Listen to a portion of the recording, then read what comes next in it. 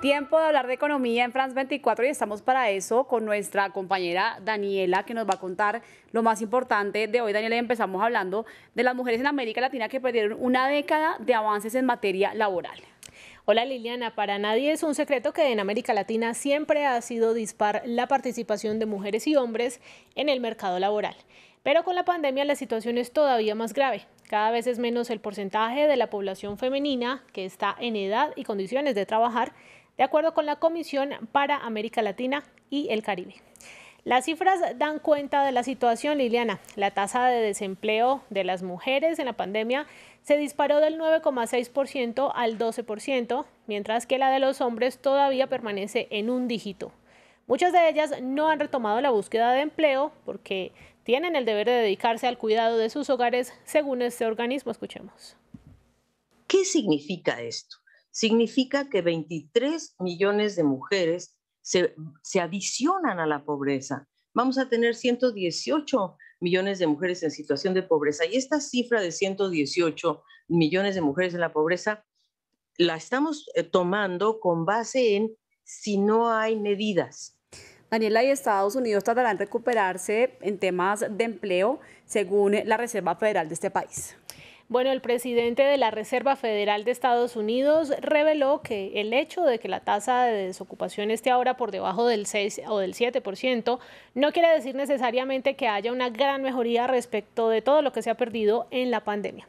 Esto sucede porque hay 4 millones de personas desempleadas que han dejado de buscar trabajo y esto de inmediato hace que no se cuenten como desempleados.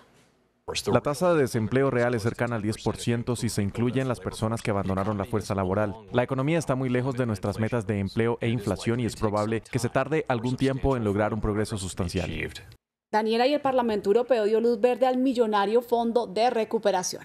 Este es, Liliana, un amplio paquete de 672.500 millones de euros en préstamos y subvenciones para que los países miembros puedan recuperarse más rápidamente de la crisis originada por la pandemia del coronavirus.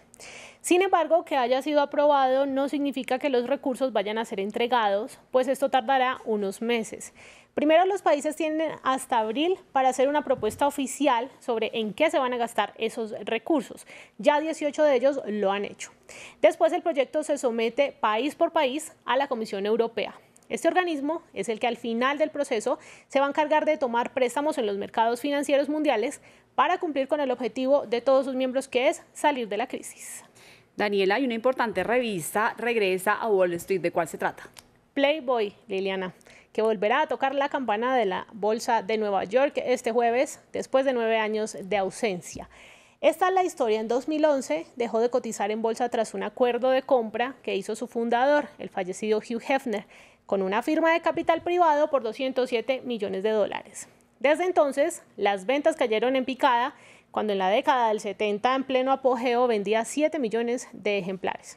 La pandemia hizo que hace un año una de las revistas de hombres más populares del mundo dejara de imprimirse. Así se puso fin a una publicación de casi siete décadas que comenzó en 1953 con Marilyn Monroe en su portada. No está claro si vuelve o no la publicación, pero ahora es mucho más que eso. Ya no somos una empresa de medios, sino de productos de consumo organizados en torno a cuatro multimillonarias categorías. Esas cuatro categorías son bienestar sexual, indumentaria, juegos, estilo de vida, belleza y cuidado personal. Daniela, cuéntenos cómo están los indicadores de la jornada. Bueno, Wall Street cerró mixto y el récord de hoy fue para el índice Dow Jones de industriales. Los mercados europeos operaron por su parte a la baja en medio de la revelación de datos económicos poco alentadores en Alemania. Las bolsas de América Latina, por su parte, cerraron casi todas en rojo. Y hablamos ahora de la cifra del día, Daniela. Los 248 millones de dólares en pérdidas que tuvo la reconocida cervecera holandesa Heineken en 2020. Esto la llevó a anunciar que va a recortar 8.000 empleos en todo el mundo y Liliana, esto representa un 10% de su fuerza laboral global. Gracias, es Daniela Blandón, nuestra periodista experta en temas de economía y ustedes también, gracias por estar en France 24. Continúen con más en france24.com.